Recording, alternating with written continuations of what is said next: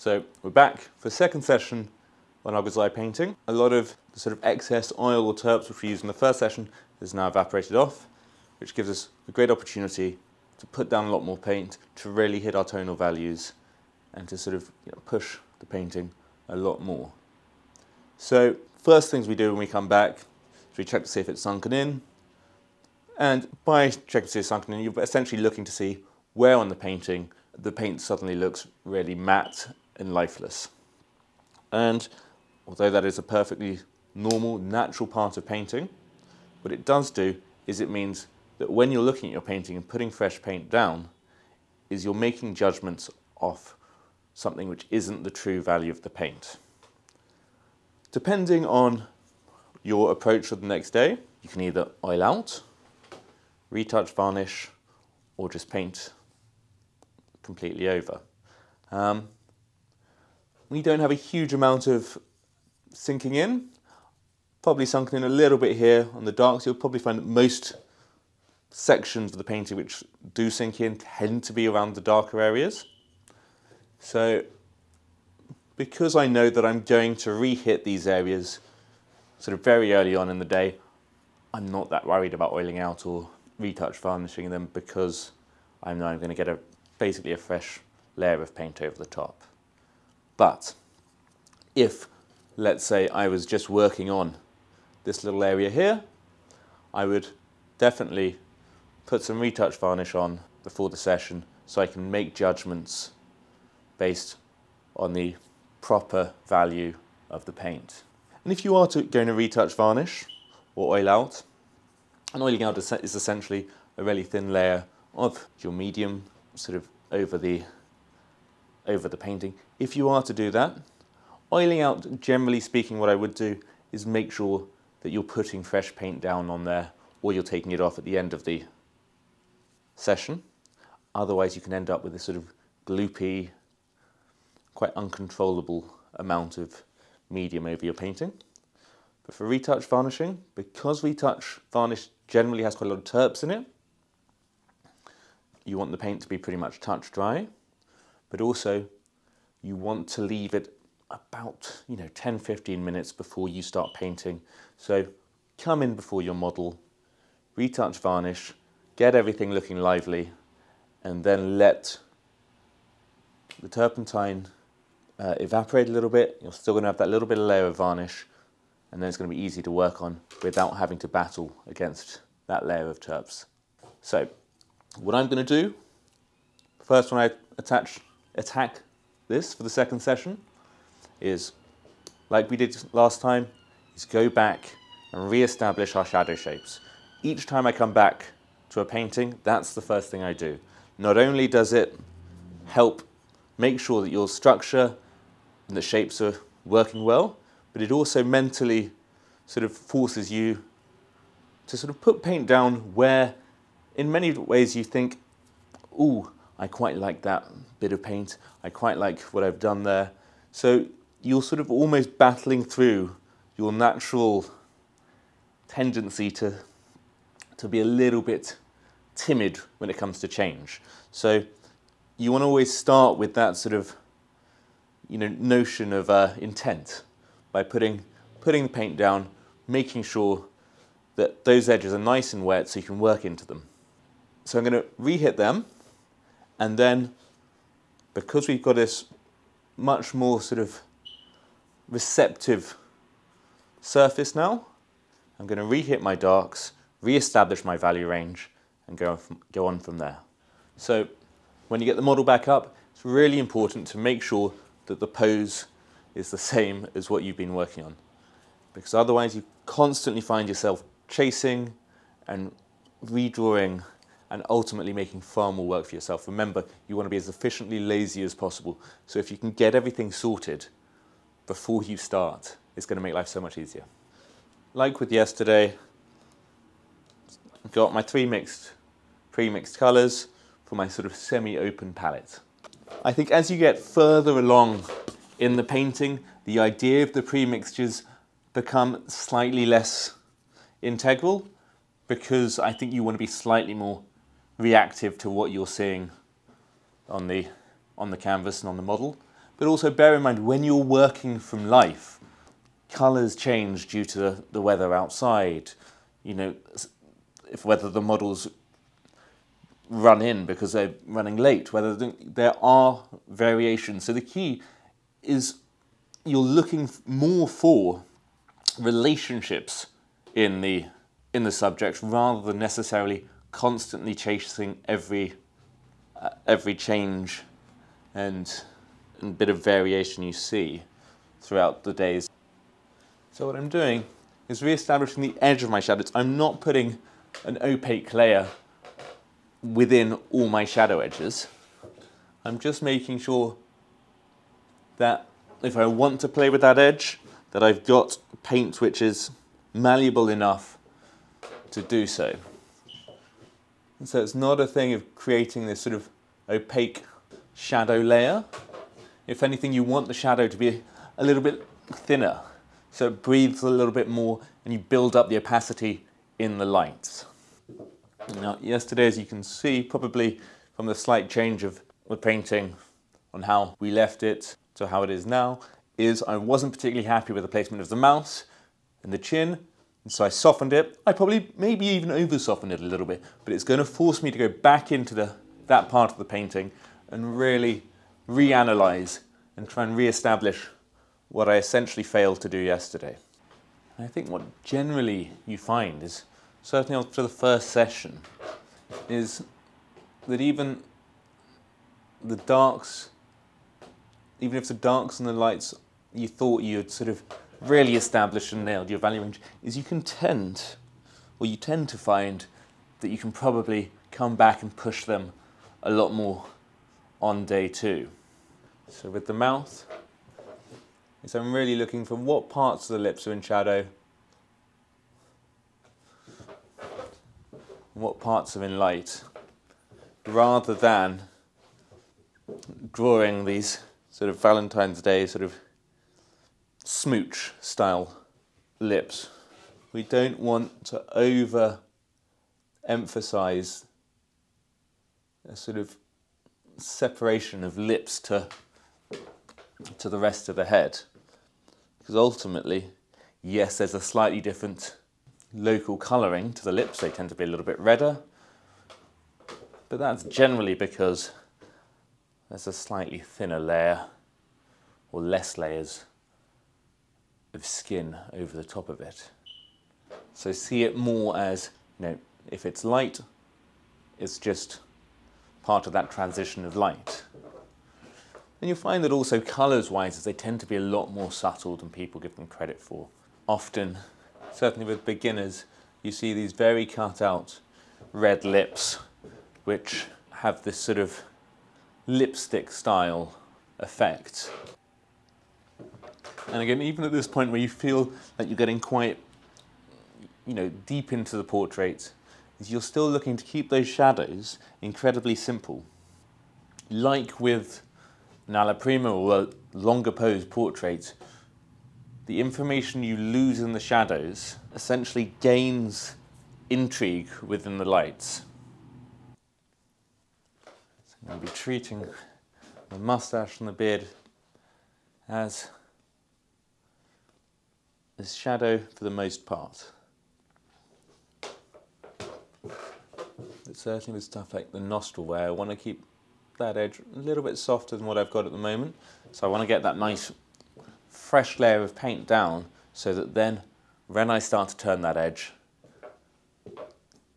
I can manipulate it from both sides of the transition. So I could probably be using a slightly larger brush for this for this section because obviously you want to be using a brush which is suitable for the mark you're making. And as I was going round the other shadow edges, the smaller brush made sense.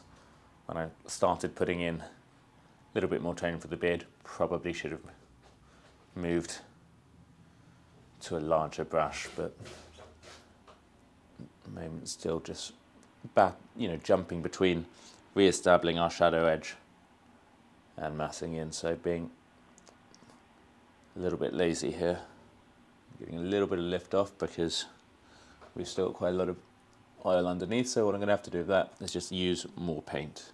And often when you when you do get lift off, which is essentially when you're putting trying to put down more paint, and you find that actually all you're doing is taking paint off.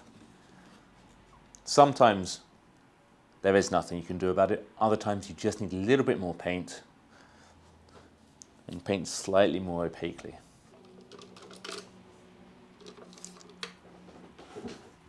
So let's stop myself being too lazy and start using larger brushes for larger areas. Certainly with something like the neck, as you will find that if I'm focusing on just painting the neck, is it's going to appear to be a lot lighter than it actually is. What you want to look look at when you are trying to judge or view the tones of these more sort of periphery elements of the portrait is look at the brightest bright and then almost use your peripheral to make a judgment on on the tones when it comes to, to stuff like the neck. So that's probably still even a little bit too too light on that part there, but just thought I'd mass it in a little bit, get an indication for where I want the collar to go,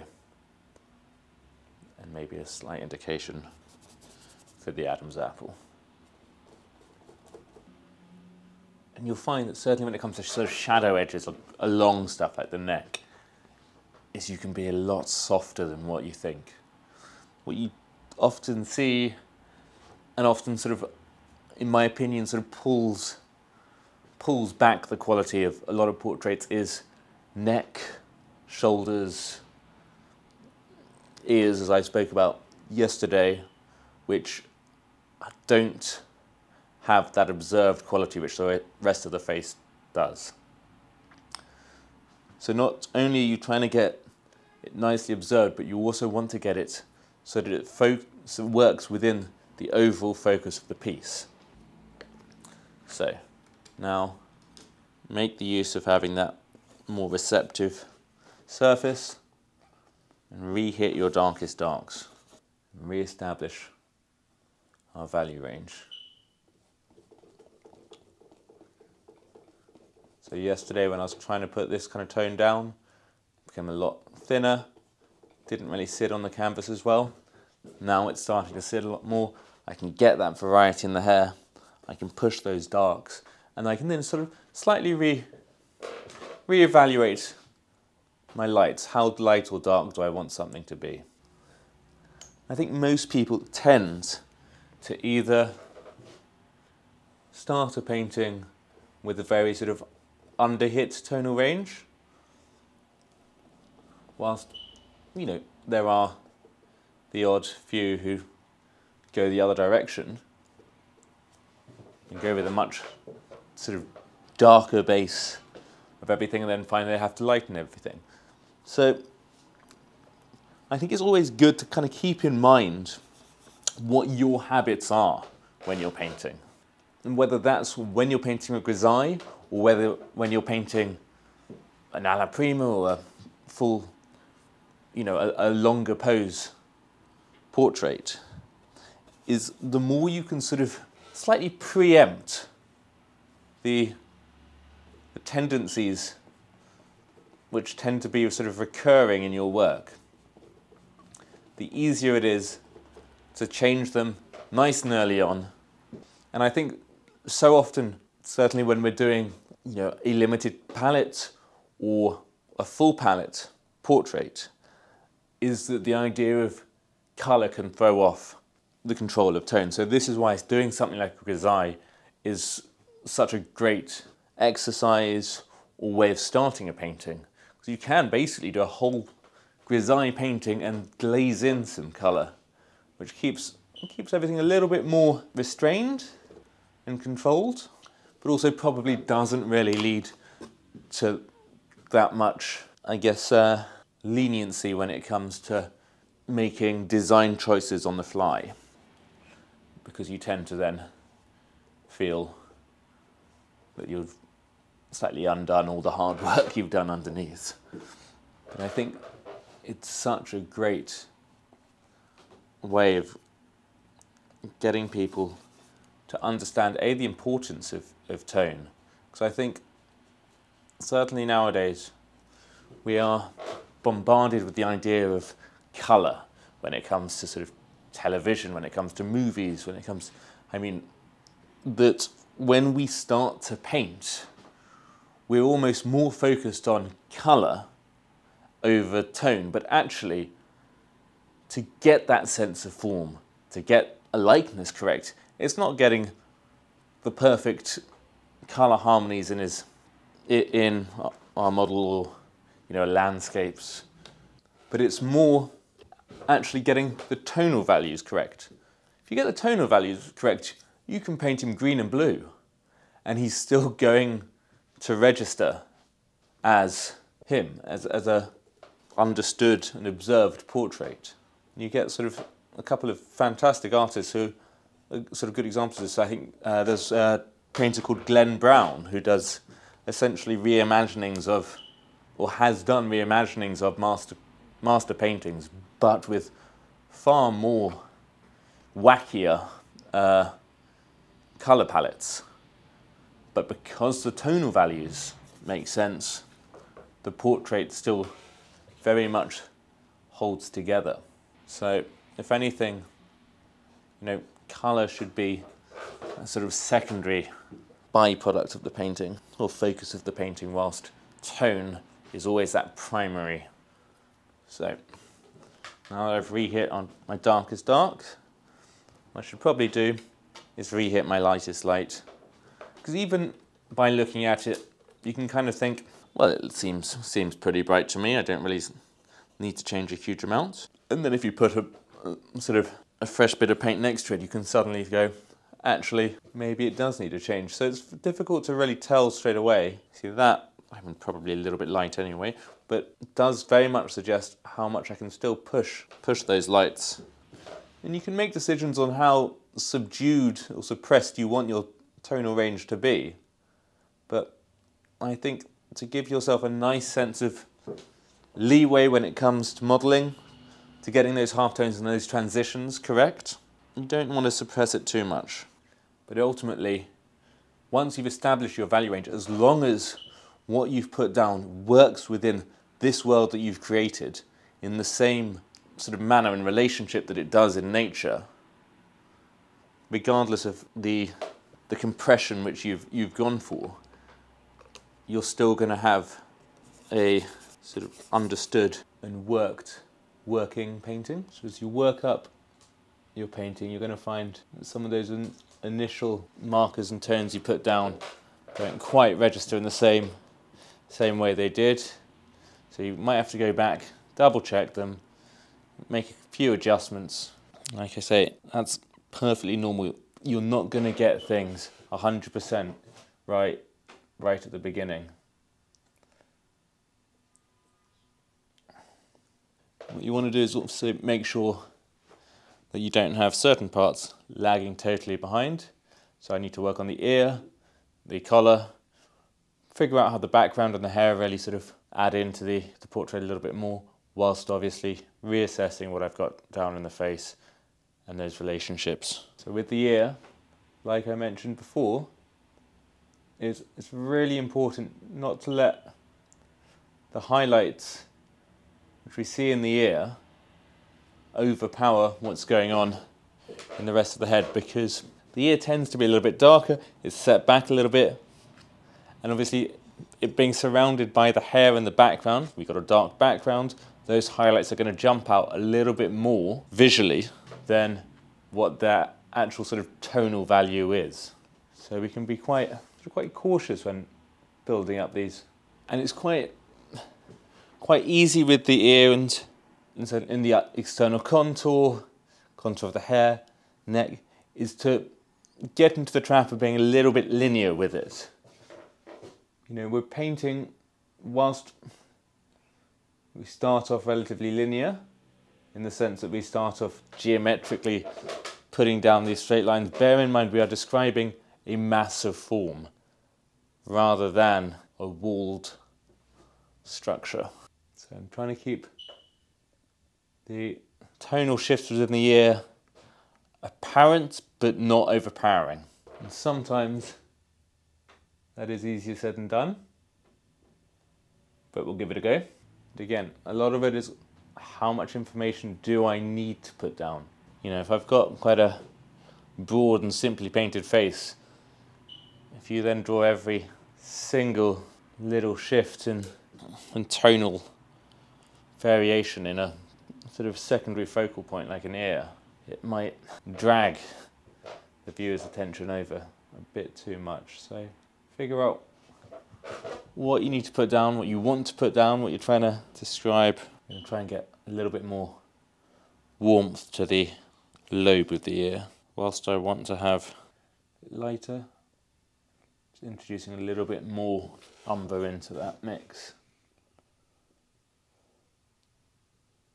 Like with any contours, you also then have to sort of think how is it, how is the contour of that reacting and relating to to the external contour. So it's quite nice. I think the ear is wrapping round quite nicely. Shapes need to be a little bit more specific to to him, so not quite his ears at the moment. A little bit sort of generic there. Time is almost up for me when it comes to this painting. I'm going to start to think more about you know, the effect of the painting overall.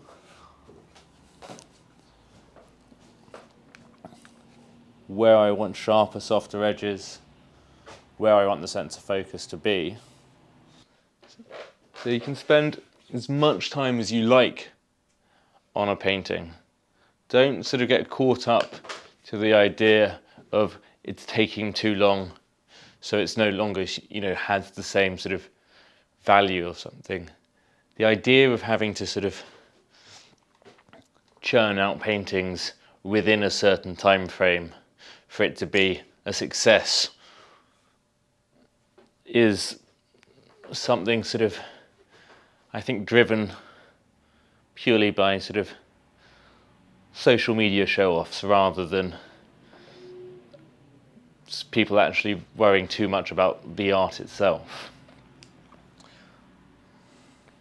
So it really doesn't matter how long it takes someone to make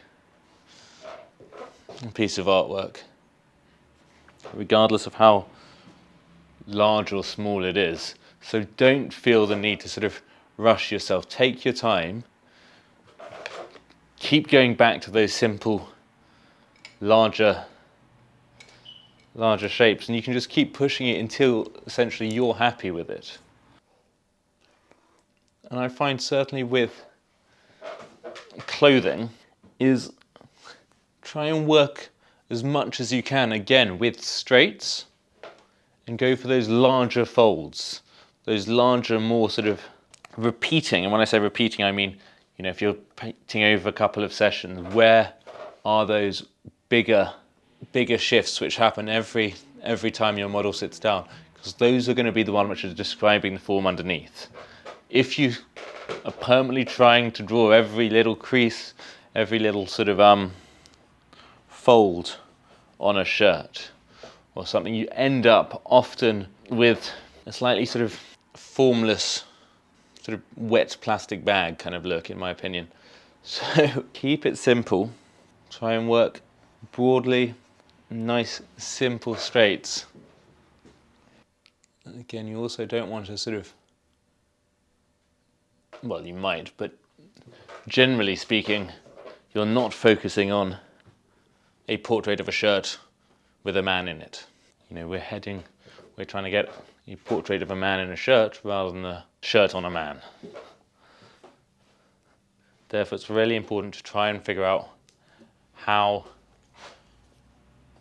the shirt is describing the form underneath. And I know I'm literally just painting a collar, but I thought I would talk a little bit more broadly about the idea of painting a bit of drapery. And I'm, I'm going to use jumper is one of my darkest darks. Vignette the head into.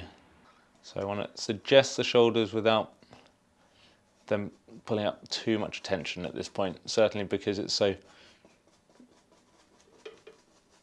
closely cropped to the head. It's very much a head study, so, and then slightly lost some of those highlights and variation on the, the shirt. So again, going in with nice, simple, straight.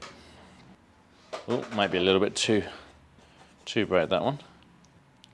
And if you do go a little bit too bright, you can always knock it back afterwards. So, as always, if your paintbrush is getting sullied, a bit sort of muddy, you're losing the clarity of what you're trying to put down. Grab a new one. So these highlights in the shirt bouncing off way too much. So I've got a shirt a little bit skew with, but I could just open the collar a little bit, pull this back there. But for the moment, what I'm going to do is I'm just going to start introducing a little bit more variety to the hair, hit those highlights in the hair just a touch more. Work on the, the edge of the hair first. And then if we have time, I can always go back in. So try and keep a certain sense of ambiguity to, to hairlines both in the external contour and the interior. Keep a nice soft hairline. You'll be amazed how soft one can go with the hairline and it still register as sharp. Add a little highlight band coming down there. Probably a little bit too, yep, a little bit too white, which is turning him slightly grey. So we just have to knock them back a little bit. Maybe we can even soften and tone them just a bit more. but we start to get an indication of the hair turning over. What I'd normally sort of do to try and, the last couple of, you know, five minutes or so, I'm just looking at edges, atmosphere, is there anything jumping out which I don't think is quite working, which needs to be changed? I think I could probably, so you're looking basically at edges. When I say atmosphere, I mean how the figure relates to the, you know, to the to its outside world, to the background. So edges being the interior, atmosphere being the relationship between the the subject and the background, making sure that works.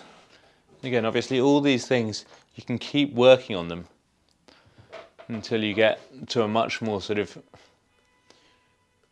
rendered or quote unquote finished look, but the process is always pretty much the same. You're working on these larger shapes, you're keeping the light and the shadows simple and actually just working out the shadow edges. And yes, as you get further on, those shifts are smaller, which is why it seems like you're going into more detail. But actually, what you're working on is, is the same. So I'm just going to knock this lowest part back very slightly. Probably made it very slightly warm there, but so should have used a bit more, more black and white and a little bit less umber. But again, that's something which can easily be corrected. So just making last couple of little adjustments before I'll call this one quits. Now what I might do, add a little bit of, add the odd rogue hair to the, to the contour. Give that hair a little bit of life. You don't want sort of perfectly coiffured hair constantly on your on your painting because hair does move. If you have hair which is too sharp, when it comes to both edges, external and internal edges. Often you end up looking more as if you've got a sort of Lego man's haircut on, rather than the sort of more naturalistic, lost and found edges that we see not only in nature, but in those old master paintings which we love so much. So I'm going to leave it here for now, but like I said, is feel free to always push your work as much as you want to. There is no definitive finishing point. So it's very much down to your sense of finish, your desires, really.